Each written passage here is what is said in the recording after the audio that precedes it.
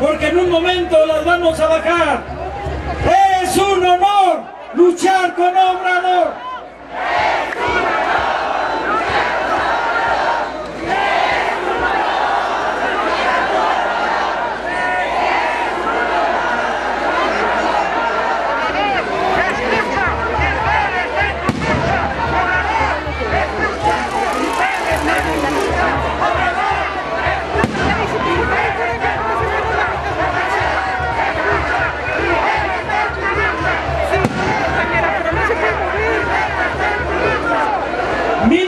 Ciudadanos del Distrito Federal damos la más cordial bienvenida al próximo presidente de México, Andrés Manuel López Obrador. Un fuerte aplauso, compañeros.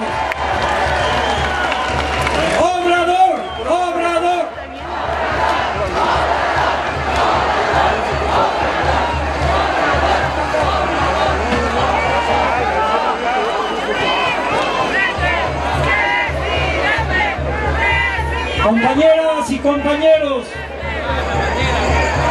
les pedimos por favor que bajen sus banderas. Por favor, les pedimos a todos ustedes de la manera más respetuosa que bajen sus banderas para que todos podamos ver y escuchar con amplitud al licenciado Andrés Manuel López Obrador. ¡Obrador! ¡Escucha! ¡Israel está en tu lucha! ¡Obrador! ¡Escucha! ¡Israel está en tu lucha! Compañeras y compañeros, les pedimos atrás que bajen sus banderas, por favor, a todos, porque atrás de ustedes hay miles de personas más que quieren ver, igual que ustedes, este extraordinario escenario. Queremos decirles, en primer lugar, que el doctor Mancera no está en este momento porque se está trasladando para un debate que en unos minutos más tendrá en el periódico Reforma con los demás candidatos a jefe de gobierno del Distrito Federal. Pero desde aquí le enviamos un aplauso al doctor Mancera y le deseamos éxito. Y ahora con nosotros el compañero que ha atraído a millones de mexicanos por su honradez, por su sencillez, por su patriotismo. El próximo presidente de México hará uso de la palabra. Con ustedes, el licenciado Andrés Manuel López Obrador.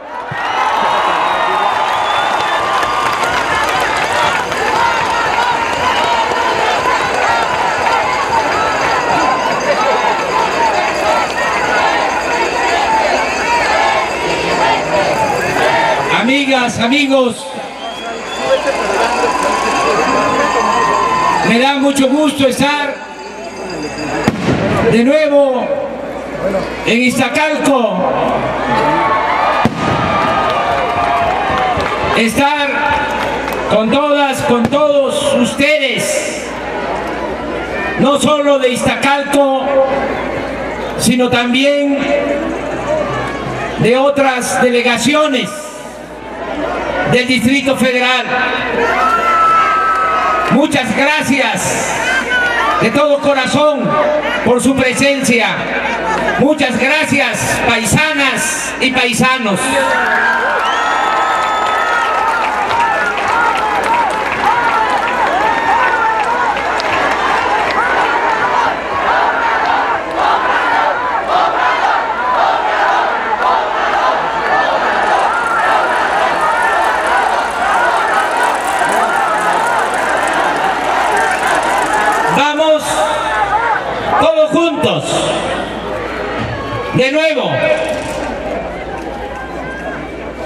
Participar en esta campaña. De nuevo, estamos encabezando un movimiento nacional para la transformación de nuestro país. Ya ganamos en el 2006 y vamos a volver a ganar en el 2012.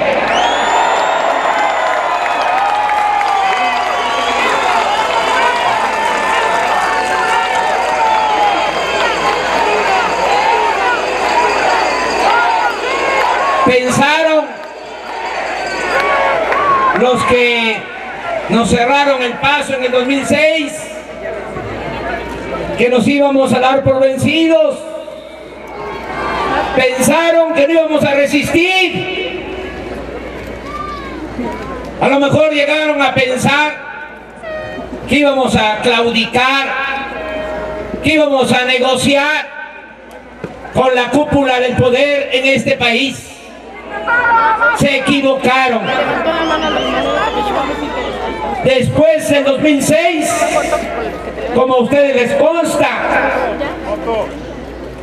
continuamos luchando, recorriendo todo el país, palmo a palmo, visitando todos los municipios de México.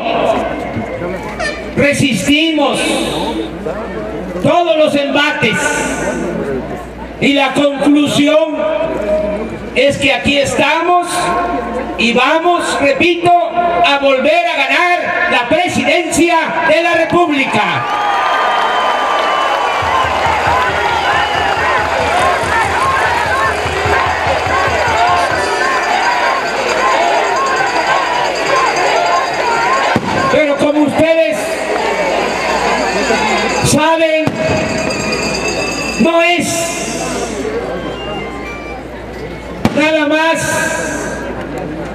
El llegar a ocupar el cargo de presidente lo que me mueve, aunque se trata del cargo más importante de la República. Lo que buscamos, lo que nos mueve es el contribuir junto con muchos mexicanos, mujeres y hombres como ustedes, para lograr la transformación de nuestro país.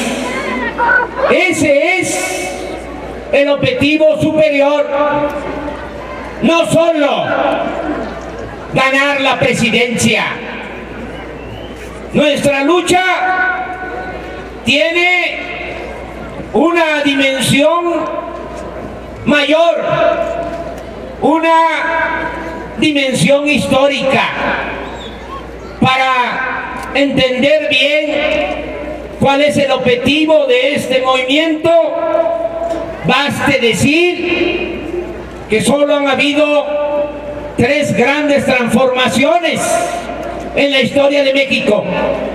La independencia, la reforma y la revolución. Y nosotros queremos llevar a cabo la cuarta transformación de la vida pública de México. De esas dimensiones es el propósito que inspira nuestro movimiento. ¿Por qué hablamos de una transformación? Porque sólo así vamos a encontrar la salida como pueblo, como nación. Sólo así vamos a poder enfrentar esta terrible crisis económica de bienestar, esta crisis política, esta crisis por pérdida de valores, esta crisis de inseguridad, y de violencia. Ya no hay más remedio para los males que aquejan, que atormentan a nuestra nación, que llevar a cabo una transformación de la vida pública, una renovación tajante, una renovación en todos los órdenes. Transformar es cambiar la actual política económica que no ha funcionado porque no hay crecimiento económico y no se generan empleos. Esto está más que demostrar. Vamos a cambiar. Lo digo con toda claridad. Que se escuche bien y que se oiga lejos. Vamos a cambiar la actual política económica que solo beneficia a una pequeña minoría. Va a haber una política económica en beneficio de todo el pueblo de México.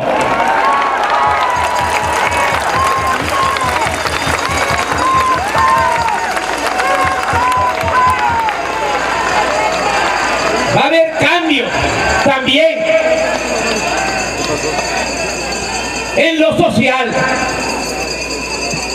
No podemos seguir con la monstruosa desigualdad económica y social que existe en nuestro país. Eso no se puede aceptar. Nos tenemos que revelar ante lo que está sucediendo.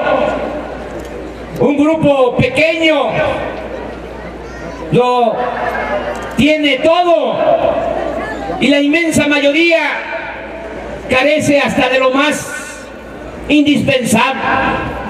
Hace 200 años, el siervo de la nación, José María Morelos, decía que se modere la indigencia y la opulencia. Y eso es lo que nosotros queremos. Invocamos a Morelos con esta visión igualitaria. Vamos por eso a combatir la pobreza, a combatir la desigualdad. Estoy haciendo el compromiso de que 12 millones de mexicanos que padecen de pobreza extrema van a ser atendidos. Para decirlo con más claridad, vamos a sacar de la pobreza extrema a 12 millones de mexicanos. Ese es mi compromiso.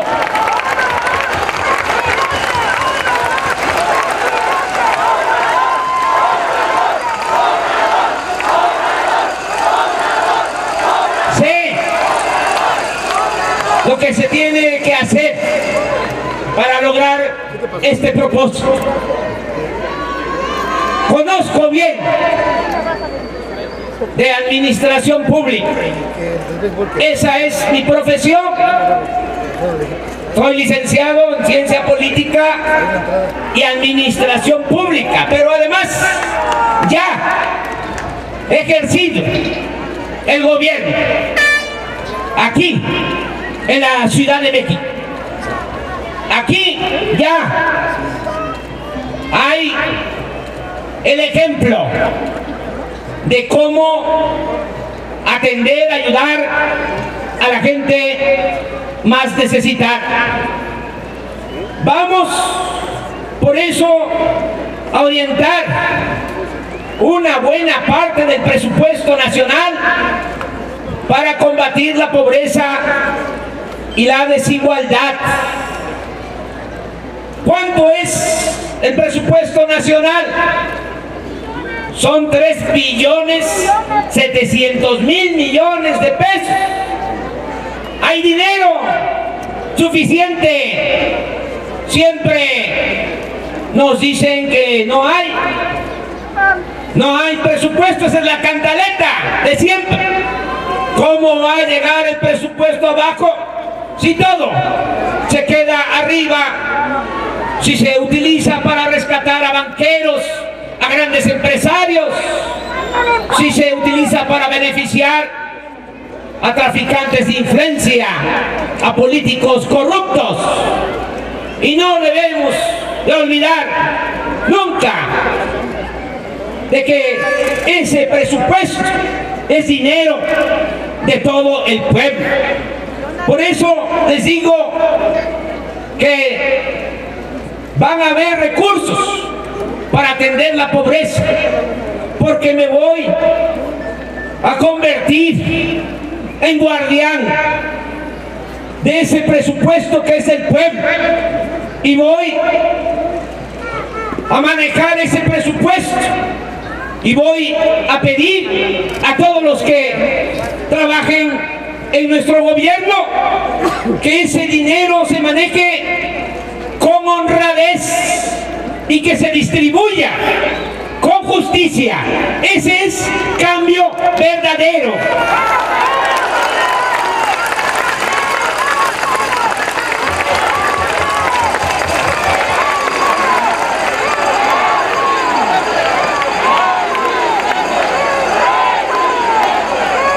Vamos a tener presupuesto para el desarrollo social.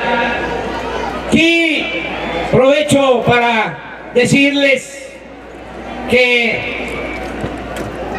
así como en el Distrito Federal hay el programa de apoyo a los adultos mayores, así se va a extender a todo el país.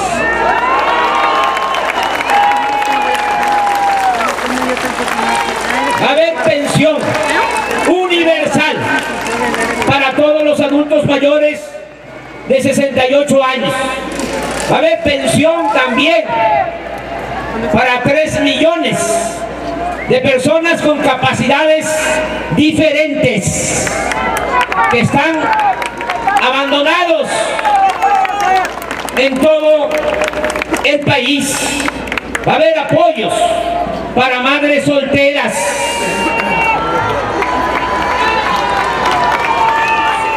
De manera especial va a haber apoyo para que sus hijos no abandonen la escuela. Y vamos a echar a andar un amplio programa de guarderías que no se van a llamar así porque no es para ir a guardar a los niños, es para que estudien y sobre todo que reciban amor y sean felices. Vamos a llamar estancias infantiles para la educación, el amor, la felicidad de los niños. En estas estancias van a poder dejar a sus hijos las madres trabajadoras de todo el país. Vamos también a extender a todo México lo que ya se lleva a cabo en el Distrito Federal. Va a haber un amplio programa de ampliación, de mejoramiento y de construcción de vivienda para la gente humilde, para los que no tienen ahora donde vivir. Que están viviendo con familiares, posando, como se dice coloquialmente. Y esto que les estoy diciendo, pues no es teoría, no es discurso, no es retórica. Fui jefe de gobierno en esta ciudad y se llevó a cabo un programa de ampliación, mejoramiento y construcción de vivienda que comprendió beneficiar a 130 mil familias en el tiempo que fui jefe de gobierno. Ahora, ¿qué estoy planteando? ¿qué es lo que vamos a hacer? Vamos a construir un millón de acciones de vivienda para la gente humilde y para la gente pobre de todo el país. Se va a garantizar derecho del pueblo a la salud, atención médica, medicamentos gratuitos. Mucha gente pobre, humilde, no tiene para atenderse médicamente, no tiene para comprar los medicamentos. Vamos a resolver esto. Vamos a garantizar ese derecho que ya está consagrado en la Constitución, pero que solo es letra muerta. Vamos a convertir en realidad el derecho del pueblo a la salud. Vamos a impulsar también todo lo relacionado con la educación. Ayer precisamente se presentaron los lineamientos de la política educativa. Los dio a conocer el que va a ser el próximo secretario de Educación, Juan Ramón de la Fuente. ¿Qué va a consistir esta política educativa? En pocas palabras, ¿cómo podemos resumir? Vamos a mejorar la calidad de la enseñanza, porque nos hemos quedado rezagados en materia de educación en comparación con otros países. ¿Cómo no vamos a quedarnos rezagados si existen casicazgos, o mejor dicho, un casicazgo en la educación? Ya no va a manejar la maestra el Baester Gordillo la educación en el país.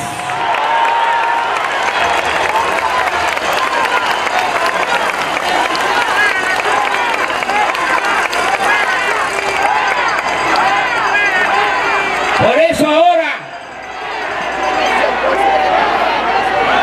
anda tan cercana al PRI, a Peña Nieto. Ya saben ustedes lo que pasó en el 2006. Le ayudó al PAN para cerrarnos el paso. Y a cambio de eso Calderón le entregó la Secretaría de Educación Pública, porque hasta hace unos meses el yerno de la señora Elbester era el subsecretario de Educación Básica de la SEP. Le entregó también como moneda de cambio por su participación, lo voy a decir, en el fraude electoral del 2006 también le entregó la Lotería Nacional, el ISTE. Pero como esta señora es hábil, podemos no estar de acuerdo con sus prácticas, pero no es tonta. Ahora que ya percibe de que el pan ya no funciona, como ya no tiene levadura el pan, ahora ya está acordando con el PRI, porque supone, y ahí es donde se va a equivocar, como muchos otros, de que va a regresar el PRI a la presidencia de la República.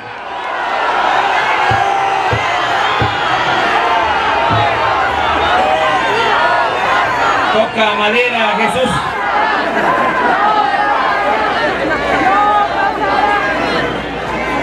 Ya tiene el acuerdo.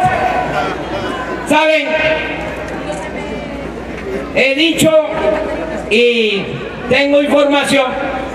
De acuerdo con el PRI, va en el sentido de que si regresa el PRI y vuelvo a tocar madera, el Bester Gordillo sería la secretaria de Educación Pública. Ese es el acuerdo que tiene con Peña Nieto. Bueno, pues eso afortunadamente no va a suceder porque no va a regresar el PRI porque sería, como lo dije en el debate, como el retorno de ese dictador Antonio López de Santana, acabarían con todo. Y eso no lo vamos a permitir. Por eso estamos en esta lucha. Ese es el fondo de este movimiento, de nuestro propósito, de transformar a México. La educación es la base del desarrollo, es el sustento de la democracia, es la mejor herencia de los padres a los hijos, es fundamental la educación. Por eso vamos a mejorar la calidad de enseñanza en una alianza, en un acuerdo amplio entre maestros, maestras, padres de familia, autoridades. Noche decía yo que le vamos a dar toda la libertad, toda la libertad a Juan Ramón de la Fuente. Hubo un secretario de educación, han habido buenos secretarios de educación en la historia de nuestro país, uno muy destacado, José Vasconcelos. Miren, cuando Vasconcelos fue secretario de Educación, vi un presidente, pero cuando se recuerda la obra educativa de Vasconcelos, ni siquiera se piensa en el que estaba de presidente, se piensa en el trabajo que hizo Vasconcelos. Ahí comenzaron las misiones educativas. Ahí se impulsó mucho la escuela rural. Se crearon muchas bibliotecas en todo el país. Vasconcelos permitió a los artistas, a los mejores muralistas de nuestro país que pintaran los muros del Palacio Nacional, que pintaran los muros de las principales de los principales espacios públicos de México. Bueno, así quiero que sea ahora. Ahora quiero que Juan Ramón de la Fuente se convierta en el nuevo José Vasconcelos para sacar adelante la educación.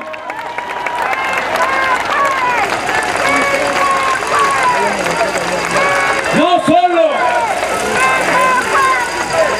es mejorar la calidad de enseñanza, es garantizar el acceso a todos a la educación.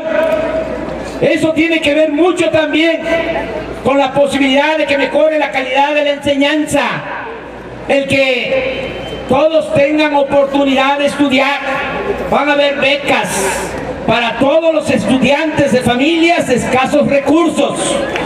Les decía yo que soy licenciado en Ciencia Política y Administración Pública, ¿saben por qué terminé la universidad? ¿Por qué me recibí en la Universidad Nacional Autónoma de México? Porque vine a estudiar de Tabasco y recibí una beca. Así es que pude estudiar. ¿Cómo se me va a olvidar eso? Nunca, jamás. Por eso, tengan ustedes la seguridad que van a haber becas, que nadie se va a quedar sin la posibilidad de estudiar y que no va a importar la condición económica o social de los padres. Vamos, como se hace en el Distrito Federal, se va a aplicar en todo el país el programa de entrega gratuita de útiles escolares, de uniformes escolares. Van a haber becas para todos los estudiantes de preparatoria del país, como se hace aquí en el Distrito Federal. Ese es un programa que inició el actual jefe de gobierno, Marcelo Ebrard, que está gobernando bien la Ciudad de México. Y ese programa fue respaldado, aquí abro un paréntesis, por el que ahora es candidato al Senado por el Distrito Federal, ahora es candidato de nuestro movimiento a senador Mario Delgado, que está aquí con nosotros. Y aprovecho para pedirles que lo apoyen. Aprovecho antes de cerrar el paréntesis para decir apoyen a todos los candidatos de nuestro movimiento, candidatas y candidatos. Tenemos que actuar con unidad. Miren, yo sé que pueden haber diferencias. Además, el discrepar, el no estar de acuerdo en todo, eso es parte de la democracia. Son en las dictaduras. No hay diferencias o no se permite la protesta o no se permite que la gente se exprese con libertad. En una democracia tiene que haber diferencias, no hay pensamiento único, tiene que haber pluralidad, pero también se tiene que entender, aceptar que estamos en un momento decisivo para nuestro país. Lo voy a resumir con una frase de Vicente Guerrero. Decía, la patria es primero. Eso es lo que nos tiene que llevar a la unidad. Hacer a un lado diferencias. Ya resolvieron como se dieron las cosas. Ya, ¿qué hacemos? ¿Vamos a seguir peleando o nos unimos para levantar la mira y pensar en la transformación del país? Y una vez, ¿va a haber unidad? ¿Sí o no? Les pido apoyos a todos los candidatos, candidatas. Alejandra Barrales, candidata al Senado. Mario Delgado, repito, candidato a senador. Nuestros candidatos a diputados federales, diputadas federales. Apoyar a ese gran profesionista, ese buen nombre, buen candidato, Miguel Ángel Mancera, que va a ser el próximo jefe de gobierno de la Ciudad de México.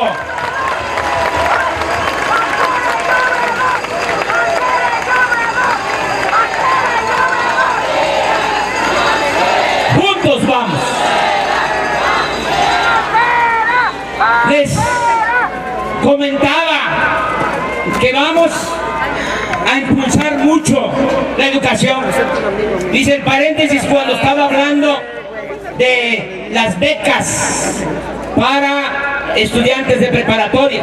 Miren qué importante es este programa, porque un problema que se tiene en todo lo relacionado con la educación es la deserción escolar. Muchos jóvenes se inscriben en la preparatoria del primer año, pero no terminan.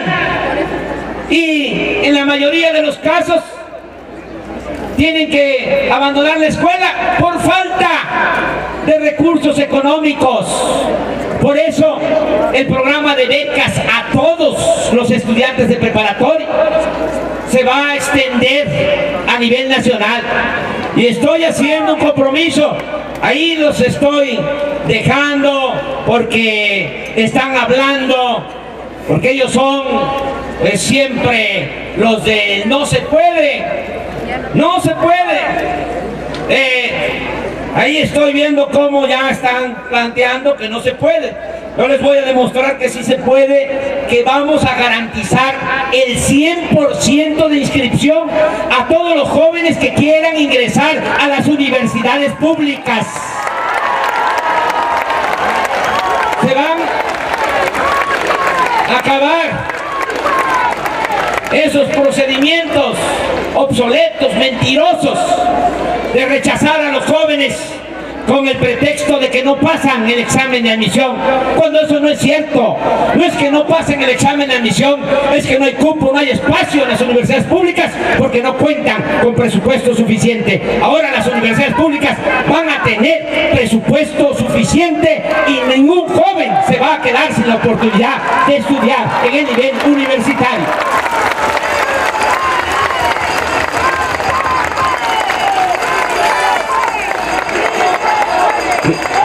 Hace unos días fui a Tijuana, descuento, y la conferencia de prensa. Hemos tenido un acto con la participación de mucha gente, allá donde comienza nuestra patria, mucha gente, y así está. Aprovecho para informarles en todo el país, así como están ustedes.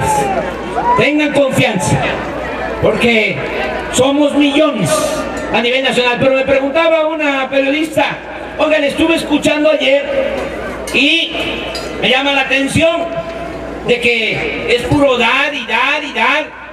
¿Y cómo va a ser eso? ¿De dónde va a salir? Ya le expliqué de que va a haber dinero porque no va a haber corrupción y va a haber dinero también porque va a haber austeridad republicana. Ya no van a haber privilegios para los altos funcionarios públicos. Vamos a aplicar la máxima del presidente Juárez. Provecho para decirlo. Funcionario público va a tener que acostumbrarse a vivir en la justa medianía. Ya lo dije en el debate y lo repito. Yo voy a dar el ejemplo, voy a predicar con el ejemplo. Voy a ganar menos de la mitad de lo que gana el que actualmente ostenta la presidencia de la República. Voy a dar el ejemplo en todo. No voy a utilizar avión privado, ni helicóptero privado. A ver qué funcionario se va a subir a un helicóptero privado, a un avión privado. Es más, vamos a vender toda la flotilla de aviones de la presidencia de la República. Se va a terminar con toda esa parafernalia de poder. Vamos a aplicar un plan de austeridad republicano. Es sencillo. No puede haber gobierno rico con pueblo pobre. Así. Vamos combatiendo la corrupción, vamos con el plan de austeridad a tener recursos. Pero le decía yo a la periodista, así lo vamos a hacer. Y qué bien que lo plantea de esa manera, le digo, porque hay dos tipos de gobierno, dos tipos de gobierno. Los que dan y los que quitan. Y lo que ha habido en México son gobiernos que quitan. Nosotros vamos a encabezar un gobierno que le va a dar al pueblo lo que le corresponde, lo que por justicia le corresponde.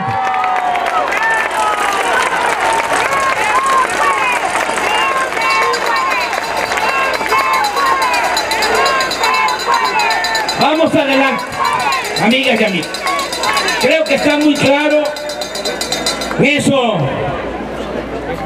Tenemos la ventaja de que son dos proyectos.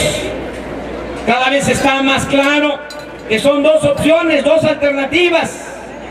Una de dos, o más de lo mismo, o un cambio verdadero. Así están las cosas. ¿Para qué les digo que es más de lo mismo? Ya todos lo sabemos, lo padecemos. Por eso vamos por el cambio verdadero. Le tuvimos que poner apellido a la palabra cambio, le agregamos lo de verdadero, porque han manoseado mucho esa palabra, la han desgastado, la han utilizado para mentir. Ya vimos lo que sucedió en el 2000, mucha gente de buena fe creyó de que iba a haber un cambio. En el 2000, con la llegada del PAN a la presidencia y le siguieron con la misma política que se había iniciado desde 1983, desde que el PRI estaba en su apogeo. Por eso no debemos de confundirnos. No hay diferencia entre el PRI y el PAN. Son lo mismo. ¿Ustedes creen que son diferentes? No. Tenemos que respetar, eso sí, a los priistas, a los panistas, de abajo, ciudadanos. No es con ellos el pleito. Ellos están igual de necesitados, igual de preocupados, igual de esperanzados como está la mayoría de la gente. Cuando viene un gasolinazo cada mes, pega por parejo. Las diferencias las tenemos con los de arriba. Miren lo que está ahora haciendo Fox, apoyando a Peña Nieto y regateando del apoyo a la candidata de su partido. ¿Por qué? Porque arriba en el mismo plato. Son lo mismo. No quieren que cambie la política de corrupción, de injusticias, de privilegios. Y los que realmente mandan en este país lo tuve que decir también en el debate porque hace falta mucha información, mucha orientación. Tuve que decir que los que realmente mandan tienen en sus manos a los dos partidos y usan a un partido o a otro de acuerdo a lo que les conviene. Como ya lo dije, ahora que ya va eh, de picada el pan, ahora están haciendo creer de que las cosas van a mejorar si regresa el PRI a la presidencia. Es una vil maniobra. ¿Para qué quieren esto? ¿Para qué están engañando? Para que todo siga igual. Se le llama a esto gatopardismo. Eso que consiste en que las cosas en apariencia cambian para seguir igual. No queremos eso. Queremos un cambio verdadero. Por eso tuvimos que añadir a la palabra cambio lo de verdadero. ¿Qué significa? Construir un camino del todo nuevo. Ya no el camino trillado de siempre. Por eso estoy aquí con ustedes. Vengo a pedirles, porque creo que todos estamos conscientes que este asunto no es nada más de un solo hombre, de un dirigente o de un puñado de dirigentes, de candidatos. Es asunto de todos.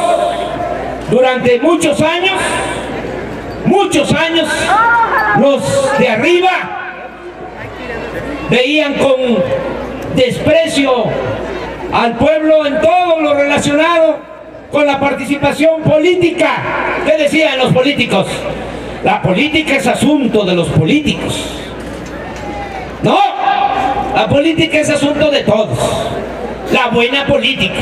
Puede ser que la politiquería, la corrupción, todo eso sea asunto de los políticos de arriba.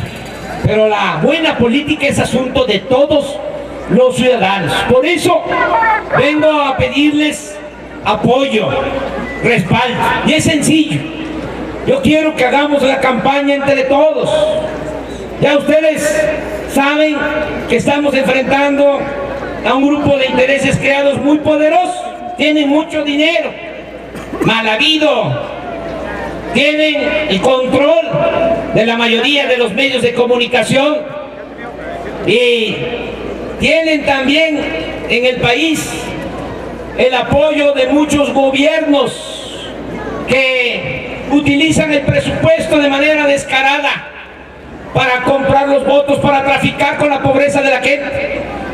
Ahí dije en el debate lo que hacen en el Estado de México, dicen, bueno, ¿y cómo es que tenemos eh, tanta votación en el Estado de México? Pues es así, con dinero, con los medios, y traficando con la necesidad de la gente, con la pobreza de la gente. En el Estado de México hay un millón doscientos mil seres humanos en pobreza extrema. ¿Cuál fue el último engaño?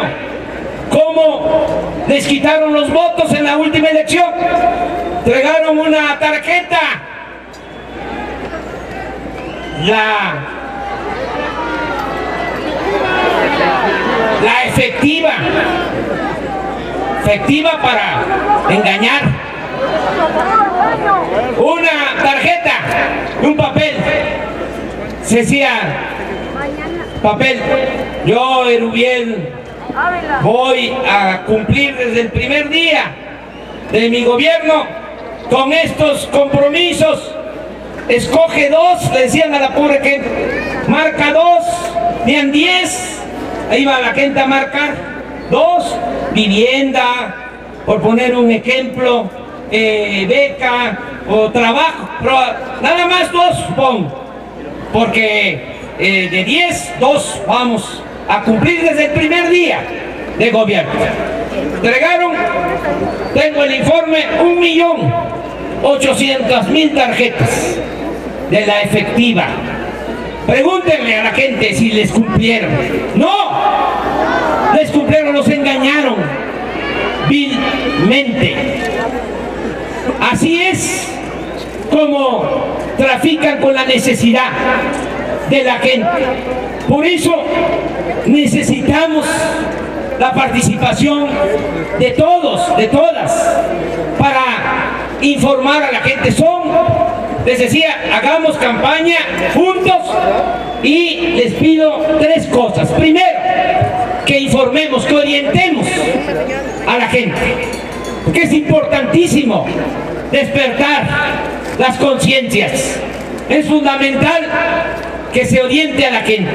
No solo en el Distrito Federal, que afortunadamente aquí la gente ya está más avispada, más despierta, tiene más conciencia, pero nos pueden ayudar, porque muchos de los que están aquí, muchos tienen familiares en otros estados de la República. Ayúdennos. Eh, escribiéndoles a los familiares, visitándolos, hablando con ellos, eh, diciéndoles cómo es el programa de desarrollo en el Distrito Federal y qué se va a lograr al triunfo del movimiento. Ayúdennos a orientar. Hay aquí gente, ustedes, mujeres y hombres, que deben de tener familiares en el Estado de México. ¿O no es así? A ver que levanten la mano los que tienen conocidos o familiares en el Estado de México. Bueno, ayudar a orientar en el Estado de México y en todo el territorio nacional. Lo segundo, que ya sabemos que somos protagonistas del cambio verdadero, que cada protagonista tiene como tarea convencer a cinco ciudadanos más. Sí saben de eso, ¿verdad? A ver, ¿qué cosa es un protagonista? ¿Qué tiene que hacer un protagonista? Convencer así. Primero, convencer. Y luego, hacerse cargo, estar pendiente de que vayan a votar, que participen el día primero de julio. Y lo tercero que les pido es ayúdennos a cuidar las casillas, a defender el voto. Les pregunto, ¿nos van a apoyar a estas tres cosas? A orientar, a promover el voto y a defender el voto. Que levanten la mano los que van a ayudar.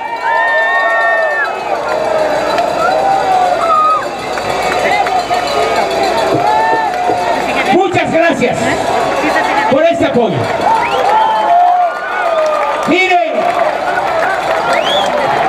les quito una pequeña preocupación de encima. No se preocupen, yo no voy a traicionar al pueblo de México. Estén eso seguras y seguros. No voy a traicionar al pueblo de México. Voy a encabezar un gobierno honesto. Voy a encabezar un gobierno justo. Vamos a llevar a la práctica los principios que nos guían. Vamos a seguir actuando de acuerdo a tres principios. No mentir, no traicionar y no robar. Así vamos a actuar. Les agradezco mucho su apoyo. No hace falta que me digan que no estoy solo, ya lo sé. Ya lo sé.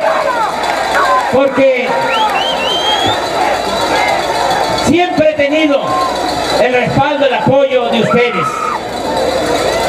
Digo, como se llamaba una obra para teatro que escribió José Martí, ese gran poeta, por eso les digo, amor, con amor se paga.